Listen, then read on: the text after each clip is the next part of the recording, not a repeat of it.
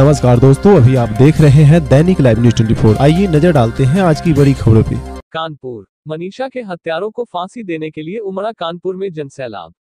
कानपुर महानगर में आज मौलाना मोहम्मद अली जौहर फैंस एसोसिएशन द्वारा हलीम कॉलेज चौराहे पर हाथरस की बेटी मनीषा के साथ जिन चार लोगों ने बलात्कार किया और उसके बाद उसकी मृत्यु हो जाने के पश्चात उन लोगों के खिलाफ फांसी देने की मांग करते हुए उमड़े जनसैलाब ने पूरे ज़ोर शोर के साथ नारेबाजी की।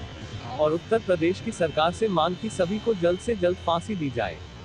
वहीं इस कांड को देखते हुए एआईएमआईएम की महिला विंग की नगर अध्यक्ष रिया सिद्दीकी ने भी अपनी महिला कार्यकर्ताओं के साथ शिक्षक पार्क में मनीषा के दोषियों को जल्द से जल्द फांसी देने की मांग करते हुए हाथों में तख्तियाँ व हाथरस की बेटी की फ़ोटो को लेकर नारेबाजी की। वाजिद खान की रिपोर्ट।